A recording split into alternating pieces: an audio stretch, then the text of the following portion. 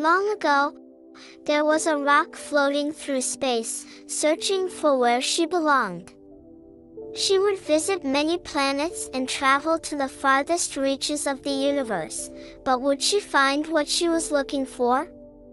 The Stellar One is a tale of self-esteem and self-discovery. When the universe was young the sky was filled with planets, stars, stardust, and many many rocks. One of these rocks was a bit more special than the rest. She was unlike any that came before her. She was a kind and happy rock, who always floated near a big blue planet. Sometimes when the light hit her surface, she would glow a brilliant green. At times like those, she almost didn't look like a rock at all. As the sky moved from day to day, and week to week, the rock would see planets far off in the distance. She would wonder what it would be like to go to them. Week after week and month after month she would wonder. Until one day she decided to go find out.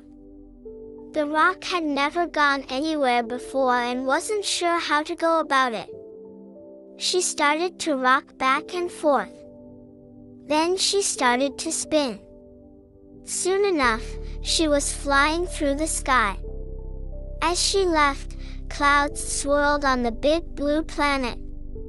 For it was sad to see her go, and when planets cry there is a rainstorm. At first the rock was not good at moving. She would spin too far to the right or too far to the left. Slowly she learned how to travel whichever direction she liked, and she enjoyed exploring space. She saw a planet filled with water, with not a speck of land. Then found a planet all dried up, with beaches made of sand. She swore she met a planet who looked suspiciously like her. And then she saw a planet that was, well, she wasn't sure. One planet she discovered had grown forests made of green. Another one was very shy, not fond of being seen. She flew right by a planet that was frozen icy cold. And then she saw a planet that was made of jewels and gold. She had started to notice that each planet seemed brighter than the last. They were all so different and all so pretty. It became hard for her to decide where to go next. If each planet she visited was more beautiful than the one before it, then how could she decide which way to go next, and how could she decide where to stay? So she continued traveling, afraid to miss a single planet. Eventually she came upon the big blue planet that she had once circled, but she found that it was not the same. It was shining in a way that it never had before. It was more blue than it had ever been, and certainly more beautiful. This made her stop for a moment. I do not know where I should go next, she said out loud. Each direction is filled with wonderful planets. And I cannot stop, knowing that the next planet will be even more beautiful if I continue on. Even my big blue planet has grown more beautiful every day in my absence.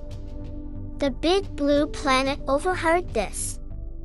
Can you not see why I am brighter? It asked.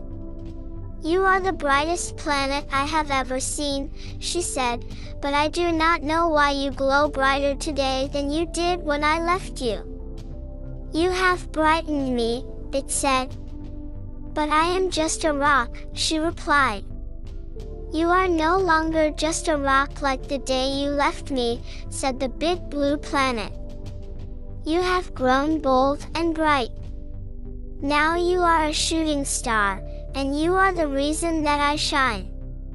And while you are worrying about which direction to go, all of the planets in space are hoping that you will come their way to brighten them. And so the shooting star, who was no longer just a rock, finally understood. It did not matter where she went, the light was her own.